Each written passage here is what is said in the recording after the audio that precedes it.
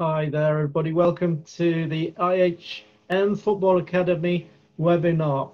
We've got a really interesting presentation for you this afternoon, and I'll soon be introducing the hosts today, and uh, then we'll get started. We're just going to wait a little while to make sure everybody's here who wants to watch. So just bear with us for a second. However, today, leading the presentation is my colleague Mick. Mick Brennan is the director of IHM Football Academy. And Mick and I were the founder members of the, uh, the company and the school and the academy. And then today we're lucky to have Gary McIndoe from Latitude Law. Gary's the MD of Latitude Law in Manchester. And Gary's law firm specializes in immigration law. And one of Gary's colleagues prepared the research report that we've based our presentation on today. And we can't wait to share that with you later on. And at the end of the presentation, you'll be able to type questions into the Q&A at the bottom bar of the screen there. And Gary and Mick will be able to take questions from you at the end. So just a few more people joining us right now. That's great. Welcome everybody. We're really happy that football training is back on in the UK now and we're already making preparations for reopening the Football Academy on Monday, the 7th of September. So exciting times. And we, we know that all our players won't be able to wait to get back into training. So let's see. I think possibly, Mick, we could get started now. Um, have I got the hosting to be able to share that, Peter? Not a problem.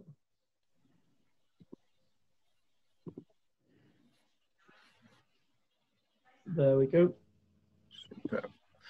Okay, guys. Um, well, welcome to uh, this webinar. Um, in a moment or so, I'm going to um, share my screen with a PowerPoint presentation. Um, it's great to see you all uh, here online. I can see from the list of people who are attending, we've got some of our, our up and coming players um, that are joining us, which is great, and hopefully some players that are thinking of joining us and just want more information about what we're talking about. So I'm going to share my screen now. I've got a PowerPoint presentation that I'm going to um, run through with you all, and I'll talk through and give you uh, more information on each slide. Hopefully, uh, you can all see that PowerPoint uh, just come up now on your screen. Uh, Peter says at the end of um, this, we will take some questions. There is a Q&A bar uh, on this uh, um, webinar so for you to be able to uh, put in your questions in there and we will try our best to answer them. Um, hopefully as we go through we can answer most of, of your questions. So what is the webinar about? Well, it's where in the world um, I can play as a player, where you can play as a player, and we're going to be looking at those most welcoming league football leagues for uh, non-UK and EU citizens. So I'll give you a brief overview of what we're going to try and cover uh, today in this webinar. So we're going to touch on becoming a professional footballer. Now, we're not going to go through that as if this is the rules, this is what you have to do, because we've just got a couple of slides giving some outlines of becoming a professional footballer, because ultimately we know that um, most of the players that come to our programs, that is their aim, that is their goal. Okay, so we're going to touch on it, and we've got other webinars and other sessions, especially for those of you that are looking at coming onto the program this coming season. We've prepared more um, uh, information about how to help and guide you on that. Okay, we're then going to look at the challenges in the UK for progression as a uh, player for those players who are non-UK and non-EU. Uh, there's a number of challenges which, which many of us may not be aware of. We're going to touch on the UK football pyramid. Um, really important that you understand uh, the football pyramid here in the UK or wherever you, are looking at uh, playing. So we're just going to touch on that briefly. Then we will get into where else in the world, and we've labelled it as where else in the world. So where else from, rather than here in the UK, could you play? And the things, that the list of things based on the study that, that Gary's uh, team there have put together um, that we need to consider. And there's a number of things that, as Peter said right at the start, we've been um, here with the academy, we were founders of the academy um, some 14 years ago, um, and it's developed and changed. But there's still some things in there that, until this study came through, that we didn't even consider for non-EU and non-UK players as well. So it's really important information. We're going to look. We will tell. We'll give you a breakdown of those friendly countries. Um, we're going to look at the US scholarship route. We're going to touch on that. And I know that there's um, some of you here online that are already in that um, process, which is fantastic. And you might be able to comment um, in the Q&As at the end about your experience going through that process and what you hope to achieve from it.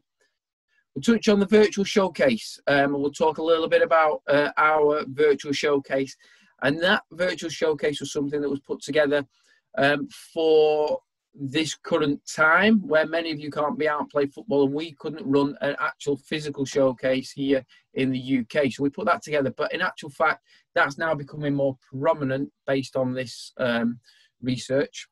And then we'll finish with the Q&A and we'll answer as many questions as we can, um, as honest as we can for you all. So let's move on. As we go through, you'll see a few of the pictures that will flick up of players. Um, it gives you a background and it gives you some images. These are from a couple of seasons ago of our players. Um, but as we start becoming a professional footballer, now before we, we go through these points, um, if I could give you the recipe of being a professional footballer and say, well, there you go, that's exactly what you need to do to be a professional footballer and you'll be a professional footballer, then we wouldn't all be sat here looking at this presentation because we'd be multimillionaires if we could just wave a magic wand and say you're all going to be a professional footballer. Okay, so these are guides, these are things that we are, are there to help you and advise you and, and guide you through. But a few key pointers, okay? Firstly, some things that you need to understand is that only a small percentage of players make it to that professional footballer. When you when we look later on at the football pyramid, you see the amount of players that are actually playing football that funnel through to that top level football. So it's really difficult. That's not to say that if you have the passion and the drive and the ability and everything like that, you can't make it but there are only a small percentage of players that do make it. Working towards being a footballer is a way of life, um, and if that is what you're starting to do, whatever your your, your age is now, if you're you're watching this now, um, and that's what you want to do, it's a way of life, and you need to be starting that way of life and starting that process and starting that mindset right now. We've got um, a great class session that uh, um, coaches. Um, David Raven has put together. David is um, our head coach at Ellesmere, and he's an ex-Liverpool player, um, and he currently still plays. He still plays semi-professional. Uh, he's got a Champions League winners medal, um, and he's put us put together a great uh, PowerPoint about being a professional footballer and, and what that takes. So that that goes into more in depth, and I think we'll look at having that uh, webinar um, very soon. Okay, you've got to be prepared to work hard and make sacrifices. None of those players that you see out there, your Ronaldos and your Rooney's and Messi's, none of them had it handed to them on a plate. Yes, they have ability and they've got lots of lots of attributes, but they've had to work hard and they still work hard every single day to progress on.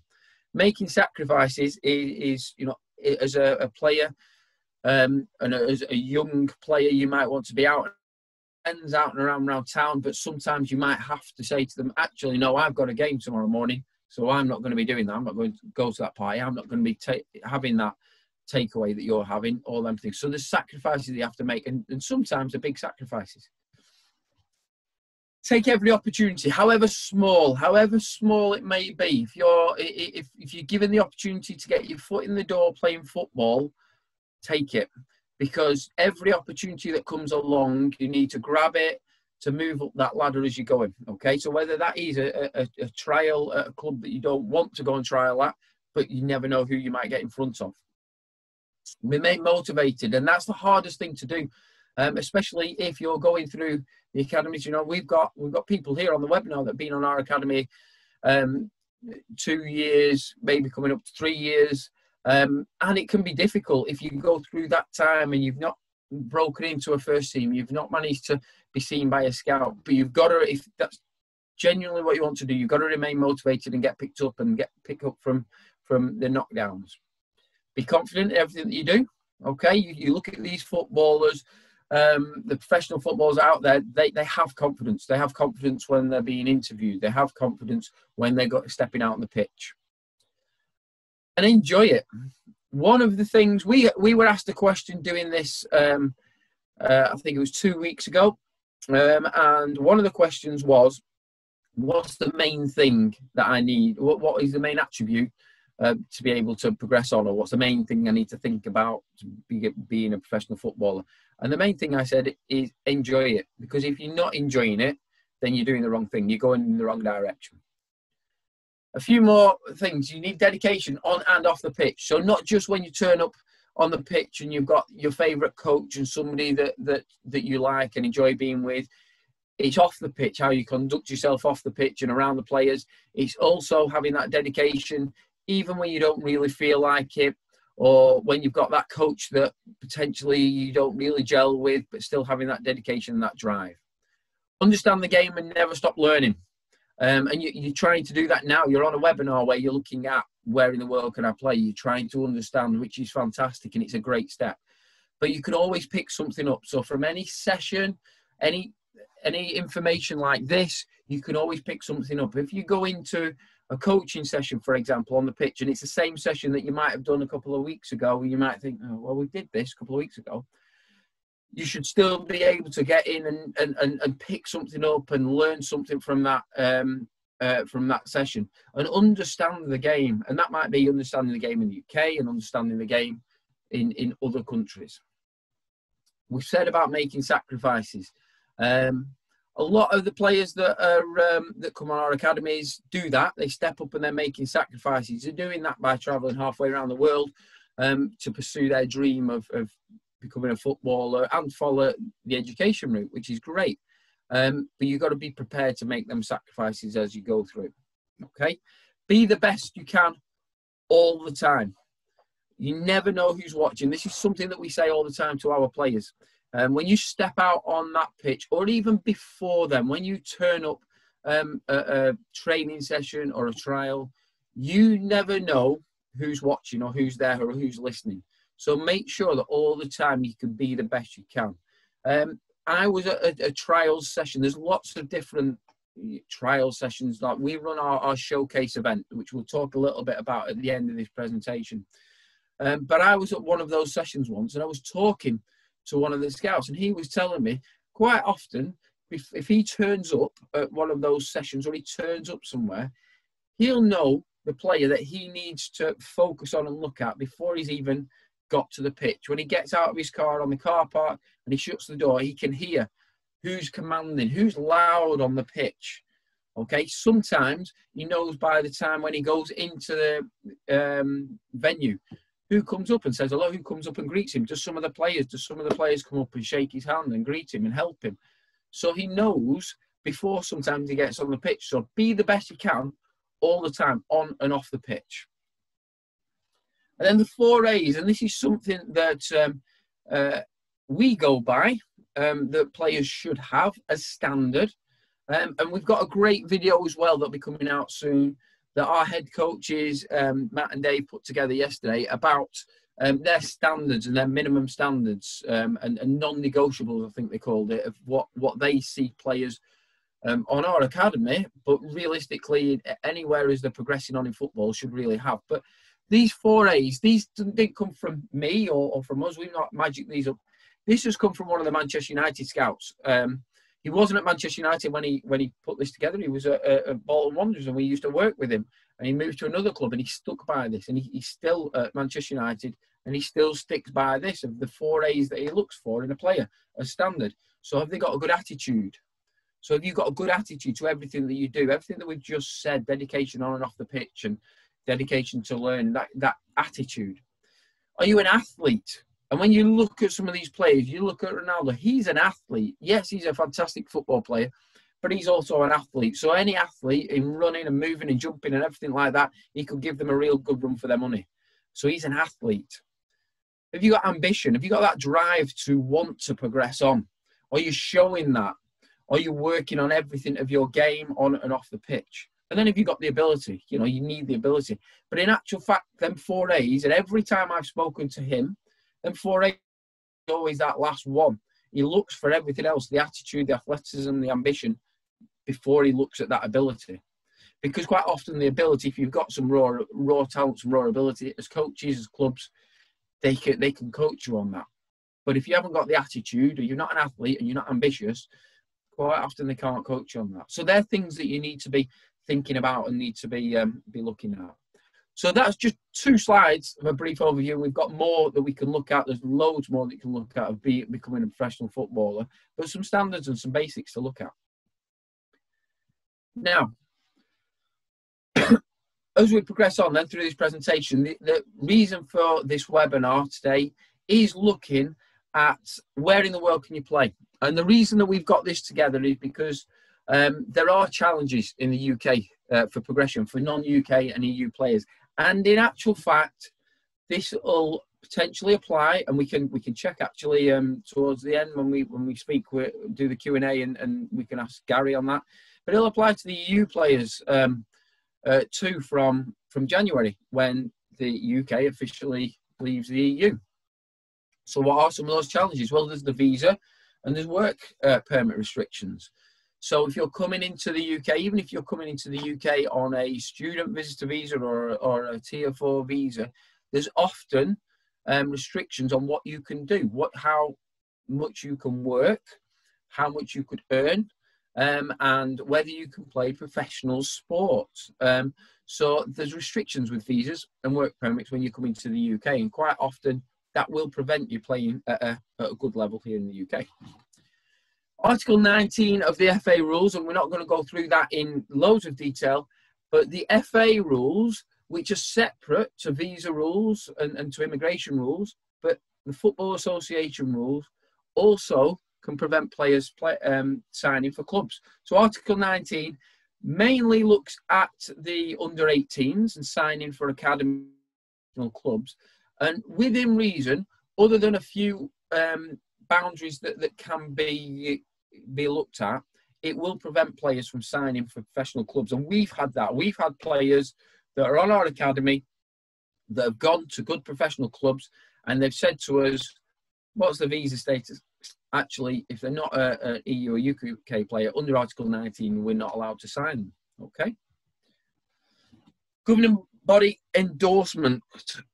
So that is the governing body of the sport, so the FA, okay, and a points-based system for you to be coming in and getting a work permit and being able to, to be given the permission to play. So that points-based system will have a whole host of different things to create the points, but the major things that they look at are representation of national side. And that's what they look at to see if players can come in, non-UK EU players can come in and, and play in the English football system. And when they're looking at that, they're looking at FIFA ranked national sides. And as well as representing your national side, potentially you will have had to play a percentage number of games for your national side. So there, just underneath where I've got that, we've, got up some percentages. So if if your country um, is ranked one to ten in the FIFA rankings, potentially you would have had to play 30% or above for your national side at your age and your, your level to be able to start to get the points on that points based system. And then as you can see, it goes goes down and through. And I think it goes up to FIFA ranking up to 70. Okay. So they're, they're things that you need to be thinking, and we have to be realistic as players, and we have to be real, realistic as an academy, rather than misleading anybody and saying if you're not at that level, if you're not representing your national side, are you going to be able to sign for a, a, a top professional club in the UK? It's going to be very difficult. So we said about learning the game and understanding the game and understanding the systems of football. So I'm just going to touch a little bit on the football pyramid um, here. Um, many of you may know it, but this is the football pyramid here in the UK. Um, and we put it like a pyramid, such as that, because when you look down there at the bottom, there are thousands and tens of thousands of players playing in them non-league underneath that non-league thing who are all striving to progress on and get up that football pyramid. So there's another challenge there as well as visas as well as uh, work permits you're battling with other players as well as you are in any country and everything that you're doing. And that's where i'm saying that a small percentage of players make it. But we have steps one to four, and that is what is seen as our league football. That is seen as professional football. Okay. Now, in the non-league, in steps five, and sometimes in step six, there there are still some sides that have gone professional that have gone full time. When we break down past that in the non-league, they're semi-professional or they're amateur football clubs, um, and potentially, and I'm just going to move it on. So you've got in, the professional, you've got Premier League, Championship, League One, and League Two, as many of you will know. If we go down into that um, non-league, so this is the non-league um, side or uh, um, part of that pyramid.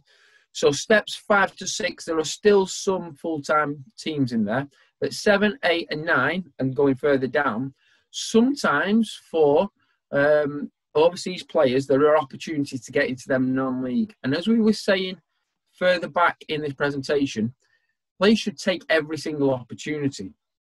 When you look at some of the professional players, and albeit they are UK players, um, but when you look at some professional players, such as um, Ian Wright, one of the old players, he started, he was playing in the non-league system until he was about 22. I think actually a bit older than that and didn't get picked up by Crystal Palace until he was well into his 20s.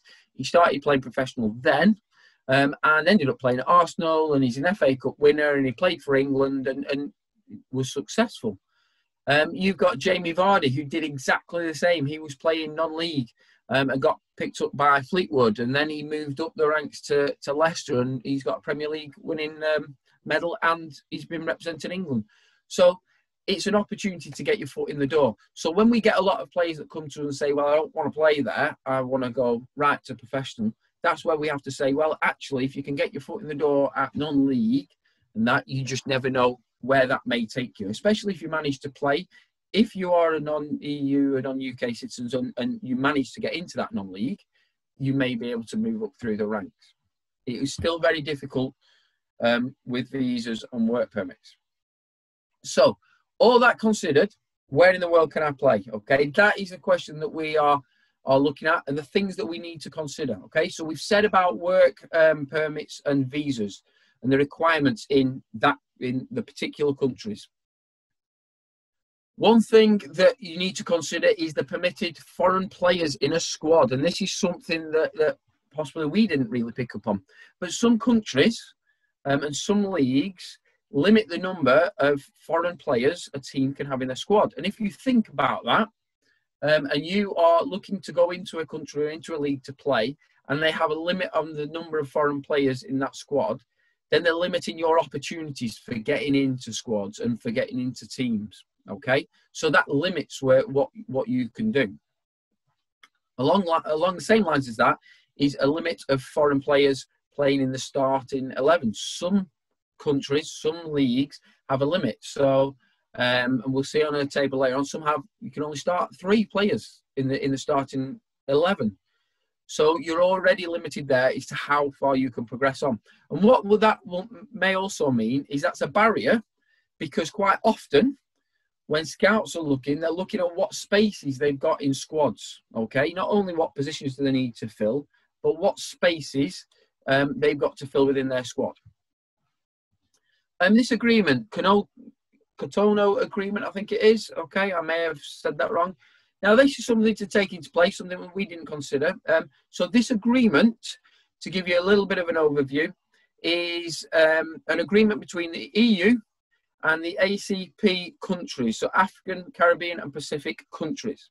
And as a very brief overview on that um, agreement, what that means is that the non EU players from them three categories of countries have to be classed and categorized and um, have the same rights as the EU players, or work. It, it, it comes under um, working restrictions. So when we're looking at that permitted foreign players, they have to be seen in the same light as an EU player. So if you're a foreign player and that agreement is in place, then you are seen as an EU player. So again, that takes that barrier away and also the league of the country, um, the, the status of football in that country, in that league. Okay, you want to be somewhere where football is prominent and where it's good for your development, and that is why we get so many players looking at coming into the UK to play football because we have the Premier League and we have the home of football and and, and, and the development of football, which is still right, which is still great. And I would still say that here in the UK for development of football and knowledge of football, when you look at the coaches, just not, not only the coaches that we have, but the coaches in the UK um, developing football, it's still the place to develop. But then to progress on sometimes to that next level, you might have to go somewhere else first.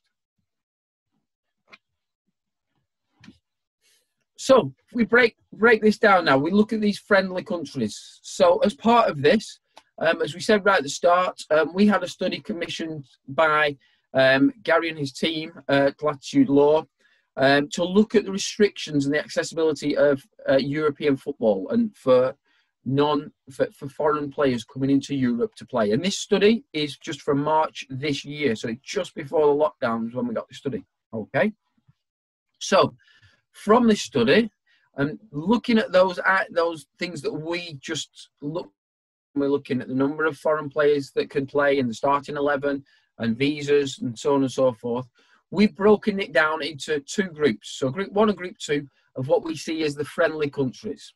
So we've got belgium. So in belgium and we, i'm going to talk about these individually as we go through. We've got denmark. We've got germany. We've got Portugal. So four countries there that when we look at the prominence and the status in world football are up there near the top. Okay, you've got Belgium, I think Belgium is still ranked first in the world.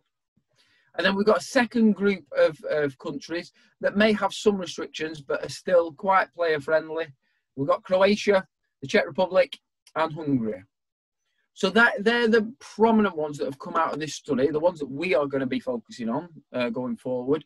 Um, but they're the prominent ones that come out of this study.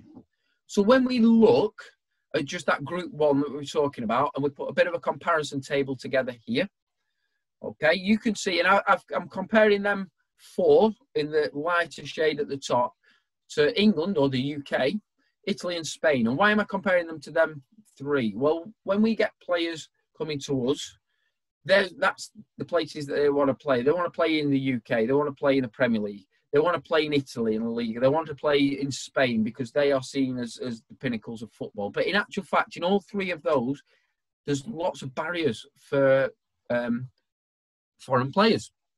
Okay, and different types of barriers, and you can see yourself um, what them barriers can be. So in in England, it's the uh, work permit and the visas. Um, in Italy and Spain, it's the maximum number of foreign players at the club. There's only three, and there's only three allowed in the starting 11. So again, you narrow down to, to where you can go. Okay. But when you look at Belgium and Denmark and Germany, then barriers come down. We're going to look at those in a little bit more detail now. So in Belgium, there's no work permit required. You may need a visa, and I think we can. Uh, I think that is a Schengen visa that you would need um, for, for most of these countries, which is um, process is slightly easier to get, but there's no work permit required to play. There's no maximum of foreign players in the squad. Um, there's no maximum of foreign players in the starting 11. And in 2016, um, 56% of their first first division players were foreign players.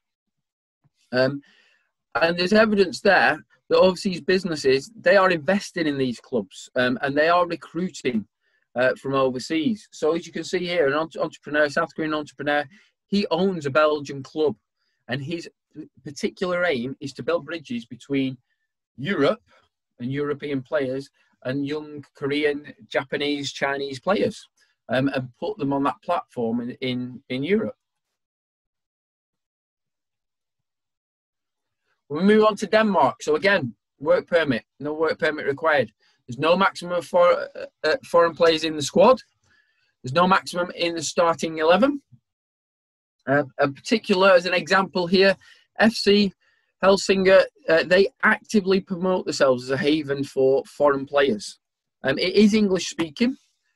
Um, and this was a quote here from the owner of that club that there is a culture of playing young players there.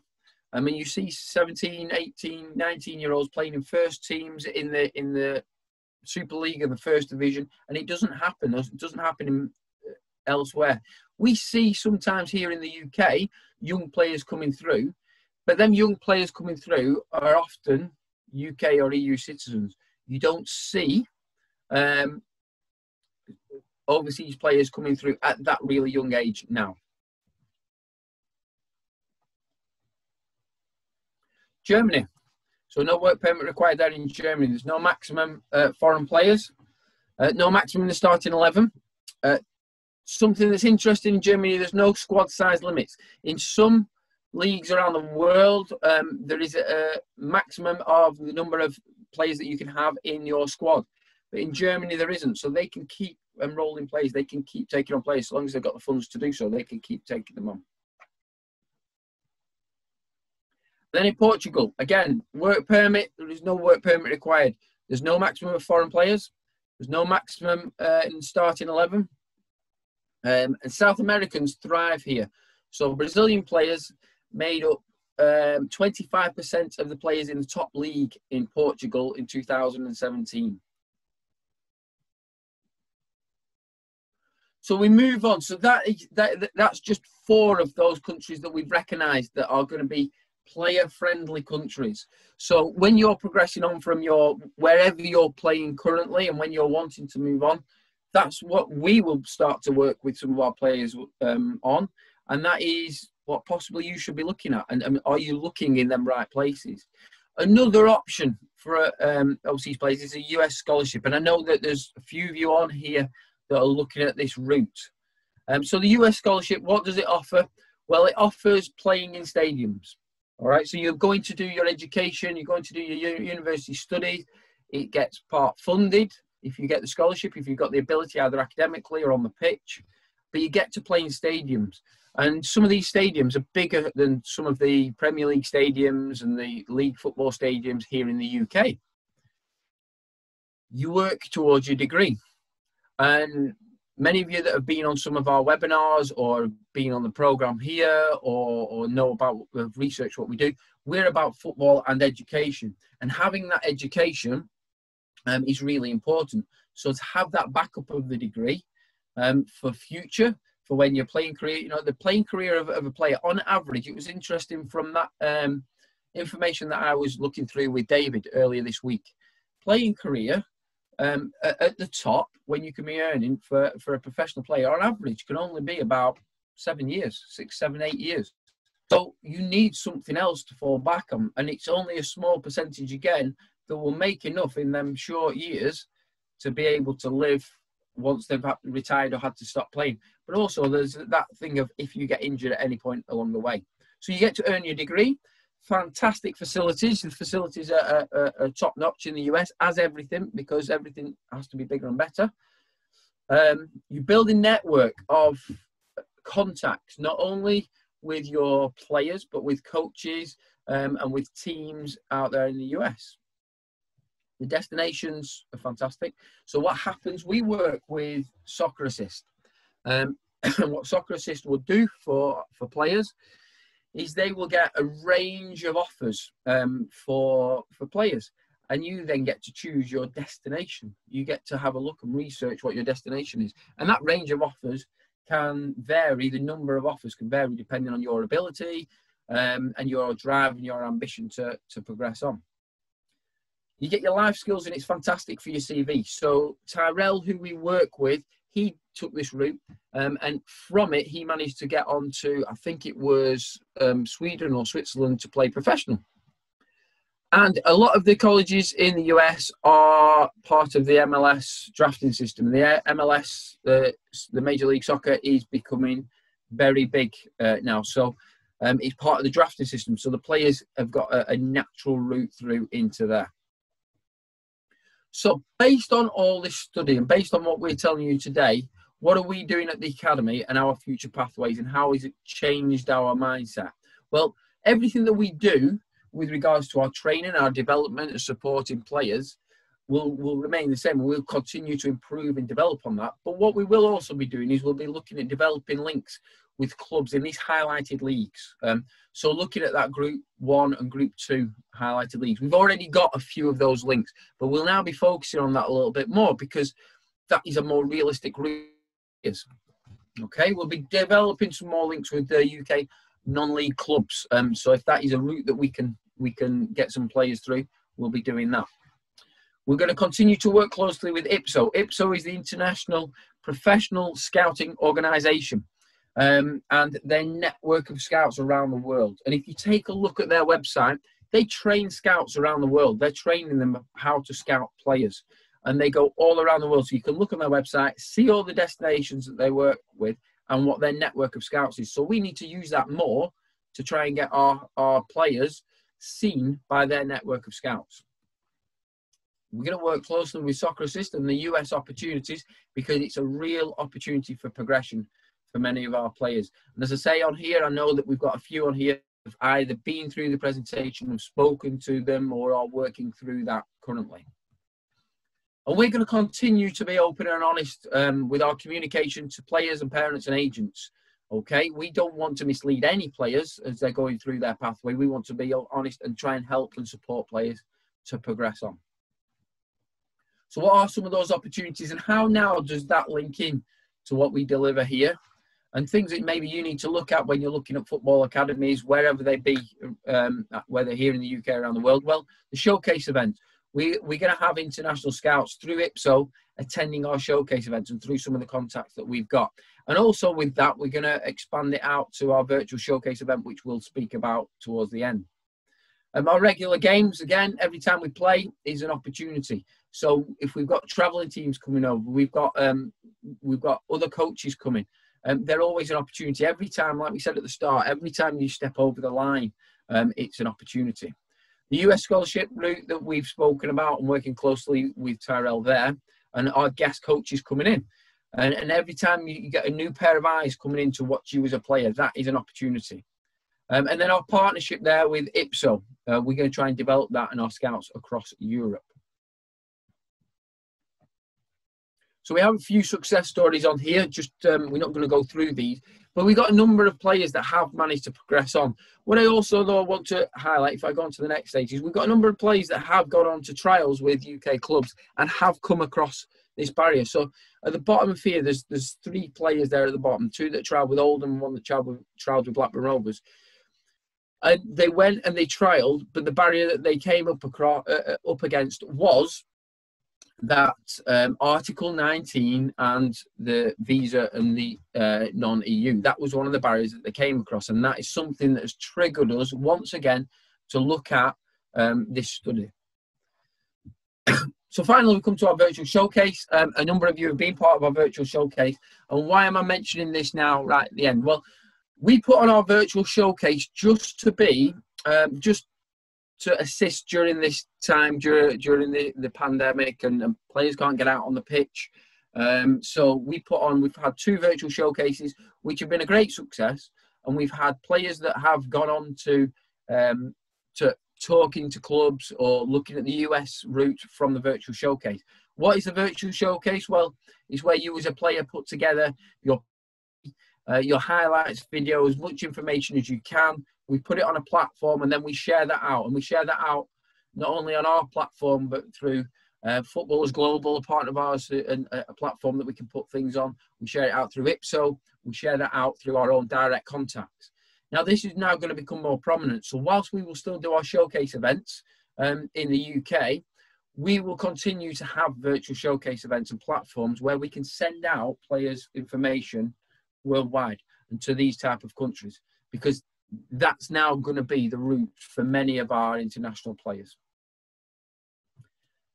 And I think there we've come on to the end. We've come on to our um, questions. Um, I've seen one or two questions popping up as we've uh, gone through there. So what I'm going to do is I'm going to stop sharing this screen now. And thank you everybody for listening. And hopefully that has, has stimulated some ideas with you. Um, give a little clarity on this because we often speak to players um, who, who don't quite understand this. But we'll take some questions now, and I think Peter's going to take over and lead on that. So I'll stop sharing that so you can all see us. Mick, thank you ever so much. That was really informative. I'm sure that everybody has learned something from that. Um, if not, how to pronounce Cotonou, but we'll work on that one. But thank you ever so much. And, and really, thank you Gary and Sam who compiled this report. It was a really brilliant piece of work. So I'm moving into questions. A Questions come up. Which is the best country from a non-EU UK player to go to? Where where is the best country? Well, looking at that um, from from the report, and I don't know, Gary, if you could if if, if you could step in as well with that, but um, looking at the report, we grouped them into the group one and group two. So you've got Belgium, you've got Denmark, you've got Portugal, you've got Germany. Um, so I would say looking at, at, at those four, um, when we're looking at barriers, and I'm not necessarily looking at what's the best country for football, and what when we're looking at the barriers that come into place for UK and non-EU footballs, they're the best four. They're the ones from the study. Um, and I don't know, Gary, if, if you agree with that, they're the ones that came out on top there with that study. Yeah, they did very clearly, Mick, really. Um, I think um, from an opportunity point of view, I know that um, we've acted for um, young players, not you know not hot through you, but you know kind of independently, who've um, you know they found that the opportunities available in Denmark were were particularly good, and I think you know the fact that it's an English speaking environment you're working and uh, you're working and playing in um, was very helpful. Um, you know, to those young players. So um, yeah, you know, those four those four countries that you've mentioned. Um, I, could I could perhaps just say a little bit about the UK as well. As as as um, you know, people will know, the UK is in a kind of a transition period at the moment as it leaves the EU. Um, the the rules, as we all know, for for non-EU um, players or potential players here in the UK are really tough. You know, you've got to be pretty high level, you know, to get a look in. Um, there's there's been nothing really from from the FA about kind of lowering those bars, you know, making it more accessible because what what the FA needs to remember here is that um, they're you know they're no longer going to be able to recruit young young players from the EU after um, the end of 2020. So, you know, there's going to be, you know, perhaps a dearth or perhaps a lack of young players coming through into the sort of lower leagues, I suspect. And I, my suspicion, although I'm not basing this on any evidence, but my suspicion really is that the FA and you know perhaps the UK Home Office as well are going to have to relax things a little bit for you know for the UK. So kind of watch this space really and see what see what develops here. Thank you, Gary. That's a really pertinent point, and um, I'm sure that that is something that everybody will follow up mm. with now and keep an eye on. Very good point. Thank you. Um, I've got a question here regarding US scholarships. Um, what's the minimum age required to apply for one of those?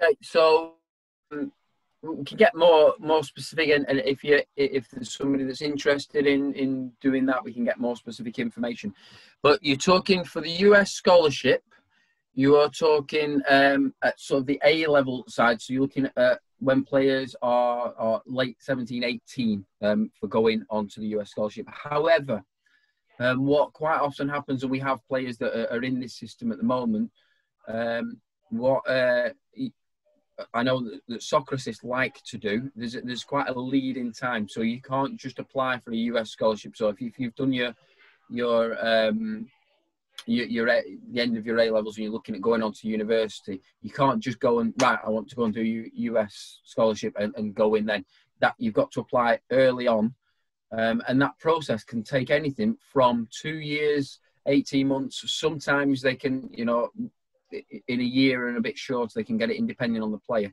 But there's a lot of information that, that needs to be gathered for that US scholarship. So there'll be highlights reels. And in in one of our, our next webinars, we talk about putting together a football CV and your highlights reels. Um, so we've got a number of players that will come on our programs, and they might come on a two-year program. Got some that have been on a three-year program, and uh, have that goal of going on to the US. So we're already working with um, with Soccer Assist and with Tyrell there to produce all the information that they need, their, their videos, their SATs that they need, their football CV, doing some training days um, so that they can they can be seen by the um, coaches from the US colleges. So the, the age wise is once you finish sort of A levels um, and you come in 17, 18, um, that's the age wise to go. Um, however, um, the applying, I would say it's got to be, you know, maximum it's got to be, uh, minimum it's got to be a year before that. So when players are around sort of 16. Great, thanks very much. Um, there's a question. Someone's saying that we didn't mention the Netherlands. We didn't mention Holland. Is there um, is that a good route? Um, I don't know whether we know that off the top of our heads, but um, I can. Pre- yeah, I, I have a little bit of knowledge on the Netherlands. Um, it's quite similar to the UK in that um, there's a work permit requirement if you want to um, play professionally in in the Netherlands. So it's quite a challenge to get there. I mean, training with a local academy, um, as long as you're not being paid for doing that, um, that would normally be acceptable, I think. Um, but you know, that step then from you know signing um, signing terms with with a club, for example, that's probably going to be um, a bit more difficult, I suspect. Um, I don't think the the Netherlands work permit rules are as kind of high level as ours, um, but they are certainly there. So that's why we've we've not kind of singled it out as one of the kind of more um, welcoming or friendly friendly countries for footballers from from outside the EU. Yeah.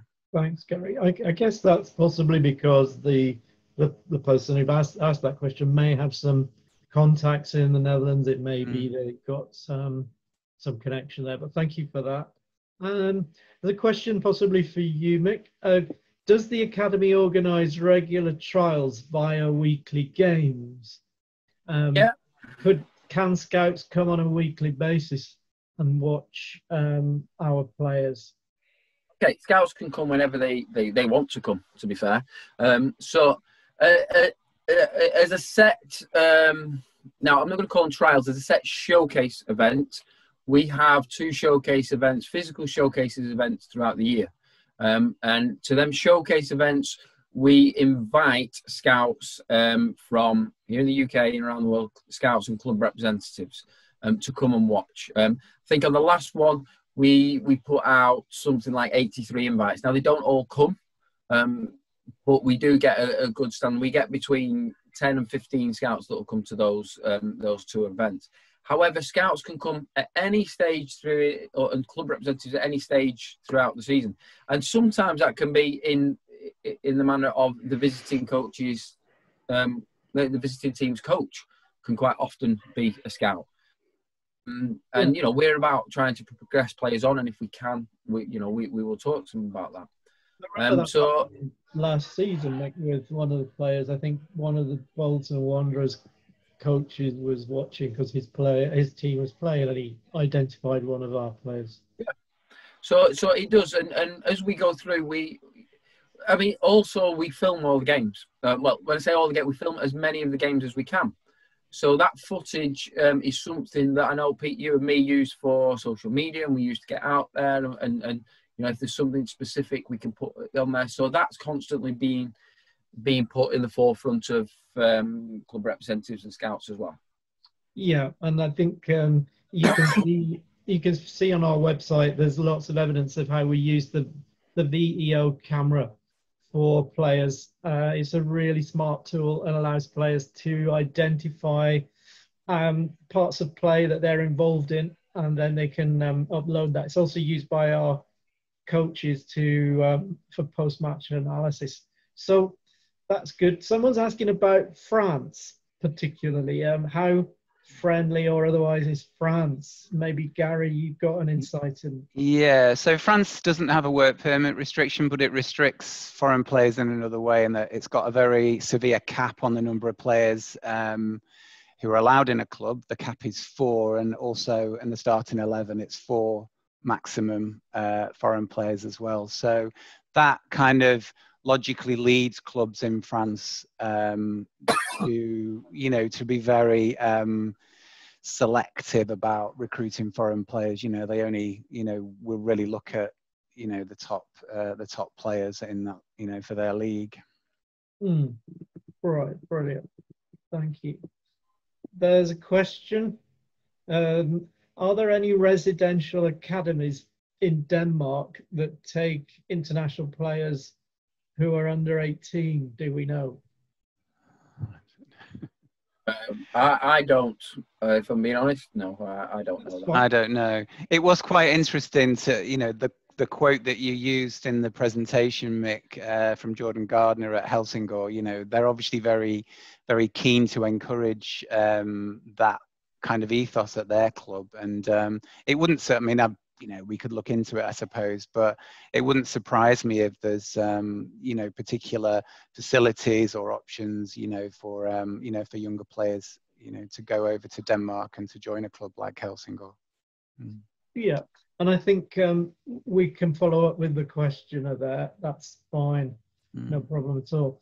Um, any educational requirements for soccer assist scholarships Mick yeah the, there are educational requirements. So, for example, um, uh, I know that the players that were with us uh, studying the BTEC route had to um, pass the BTEC uh, diploma, um, and depending on the level of the education, um, will also depend on what university or what college you can you can get offers at uh, when you go to the US.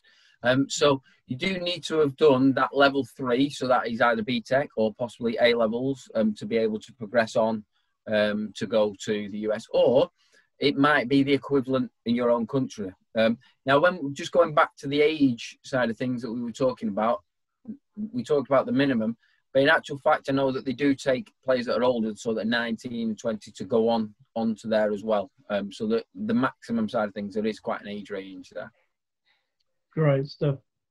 Thank you. But I do know uh, something that's in line with our own ethos is that to to get a scholarship at a good US university, then you have to be able to demonstrate that you are as good academically as you are on the pitch. I think that's mm.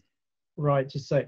There's um, an Indian player who is age 15, and he's asking about what opportunities would there be for Indian players to have a trial. Um, he's asking how could he join our academy. Well, I'll answer that first if you don't mind, because that's an important question. Because you're 15, um, I would advise you immediately to discuss this with your parents, and if you could ask your parents to contact us, and then we'll discuss that with them. So that's the best answer I can give there about joining our academy. Yeah, and uh, I think as for signing on for you, you know, uh, do we say an Indian player? Yes. Right.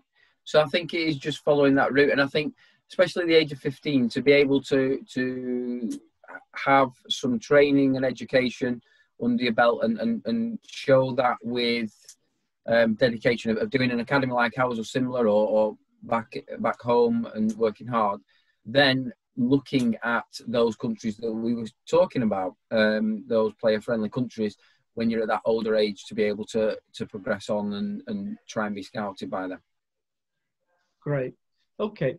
Um, there's a question here about attending university and then playing at the same time playing for a club in a, one of the group one countries. I don't know if anybody knows about that particularly but I guess if if a, if the um, if, if the regime allows them to work as a professional player, then it ought not to bar them from studying full time at university. I don't know if anyone's got any extra insight on that.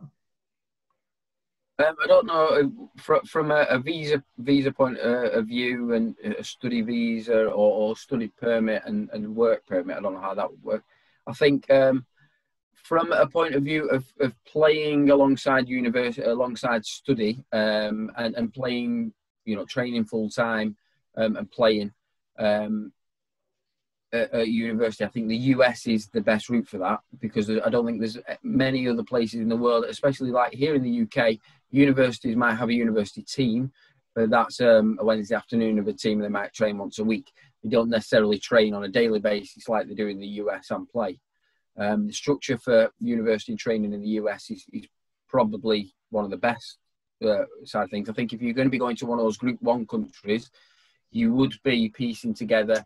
Here's your university, and then if you're like Pete says, if the re- regime allows you to go and train with a club, then you do that as a as a separate. But then it's looking at whether um, any entry visas and permits are, are, are, permitted. And Gary, I don't know if you know anything with regards to that.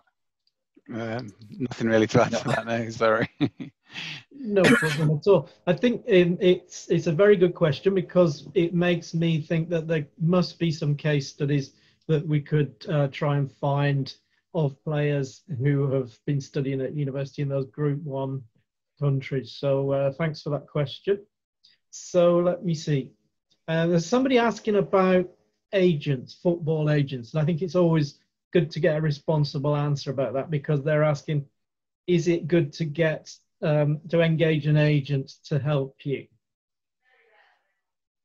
Um, from an agent, from a point of view, it, it, it, all depends on, on the age of, of that player, and it all depends on the different ages. There are some really good agents that are out there that can help and support players But there are some agents out there that will charge um, without the ability to be able to help and progress players on. Um, so it's a difficult one. It all depends on the agents. It all depends on the players and where you're looking at. Um, uh, I would say always try if if you are looking at engaging an agent and you're on you know an academy if you're with us or you're with um, with another academy or you're with a team somewhere I'd, I'd say always try and, and gain advice from whoever's coaching you and, and leading you and, and stuff uh, with regards to that because that can be sometimes having an agent especially at a and this is this is some of the experience that i've had um, especially a young young age can be a barrier into getting into clubs because quite often clubs may look at it and think well hold on why do you need an agent at that age you're not if you're not at a club if you're not at a pro level and you're moving around clubs and you need somebody to represent you, well, why do you need an agent when we're a club who could come and send a scout and could come and find you and, and bring you in? Uh, we have had experiences of where an agent has been a barrier for um, for players to get in. And some academies, I know here in the UK, and I know we know, we, we, we're sort of talking about around the world, but some academies here in the UK for um, young players, so you're under 18 and that won't deal with agents because they don't think at that age they need to deal with agents. So it can be a good thing, especially for, for older players who, if you've had a um, a semi-professional career in football, you've played at a good level, you need an agent to try and help you and, and open doors for you. That can be good. I think at a younger age, I'd be very careful with an agent. Okay. Um, Gary, this one's possibly for for you for an initial response. It, it mm-hmm. may be uh, something to follow up on. Um, but one of the questioners here is saying that his son has moved to the UK as his dependent. And he's saying that according to Article 19 of the FA regulations, he's an exception to the rule. Does this mean that he's free to join pro teams and there are no restrictions? I, think there's a lot of detail missing. It's a good question. Um, I think, I mean, so the Article 19 exemption applies where somebody's coming here for the for purposes of education, but this lad's not for the purpose of education. He's your dependent, isn't he? Um, so I'd need to look into that. I think from um, from the point of view of um, you know the UK's rules on um, what an immigrant can do in the UK, um, your son would probably be okay, you know, because he's here as a dependent. There's no restriction on activity, so it can be study or work. Um, um, so potentially, I think, yeah, the the answer is yes. You know, he would be able to, um, you know, to join a pro team if, um, you know, if that were his um, kind of wish and he got taken on by somebody. So yeah, I think probably the answer is yes, but I would want to to do a bit more research before I give you a definite answer. I think to that. Thanks, Gary. I think um, to the questioner there, if you want to contact us, and you can contact Gary also directly. Um, the Latitude Law website address is at the end of this presentation. But Gary, if I remember, it's latitudelaw.com. Exactly, yeah. Yeah. So that's probably um, the best way to get a definitive answer on that one.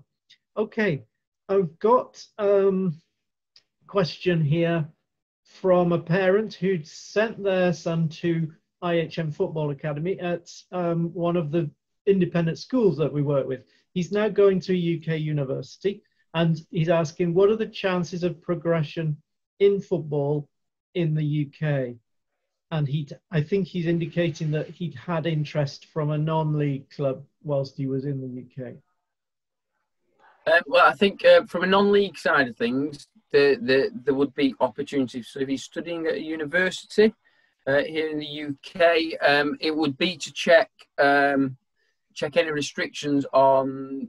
I would imagine would be on a tier four visa and check any restrictions. Mm. There are um, overseas players that have in the past played um, at the very non you know, lower league side of things. I don't know, um, Gary, if you've got anything more to, to, to, add with regards to that at the university level. Yeah, I think so. On a tier four visa at university level, you're subject to a 20 hour a week uh, maximum um, work time um, during term. Um, that limit goes in vacation times, so the you know the individual could potentially play full time for a club during um, you know during the holidays. Um, but um, I mean, this is one of the real problems we have. You know, problems that young players have. You know, when there's interest from a non-league um, from non-league club, and um, you know they might want to offer terms to a young player that you know the work permit rules that we have here they don't general they're not generally very helpful you know they don't allow you to um, you know to work. Um, the maximum on tier four for like below degree level is 10 hours and if you're here on a on a short term study visa you can't work at all. So you know we are quite restrictive here in the uk unfortunately. Am i right gary just to add to that? The term working um, is classed as either paid or un, unpaid, voluntary or, or none. That, you know, even if these players are going to say, "Well, I'm not being paid," quite often that still can be about exactly. Yeah. yeah, yeah, they are still caught by that um, by that rule. Yeah, unfortunately. Yeah. Okay. Uh, thanks very much, everybody. That seems to be the um, the last of our questions. I think we've managed to answer all of them. I think the only outstanding questions are coming from people quite specific about education and um, our academy. So please do contact us uh, with any questions that you might have following up regarding either uh, uh any legal issues that you would like um, help with, or if you've got any inquiries about how to uh, apply for for the uh, the academy that we run in Manchester. We do work with two independent schools, and they range from age 11 through to 18, 19. So GCSEs through to A levels, foundation program for international students, and international baccalaureate. So there's a very wide range. And as I say, that our principal aim is to keep all of our players in full-time education and everybody is working towards a plan B. Football might be your dream, but everybody needs a plan B. Every player does, and that's that's what we try and do. So, Gary, thanks ever so much for your time and for uh, to Sam for his marvelous report there. Uh, Mick, thank you very much for an informative talk. And everybody, we'll be making this recording available for you to see online. So thank you ever so much and speak to you all soon.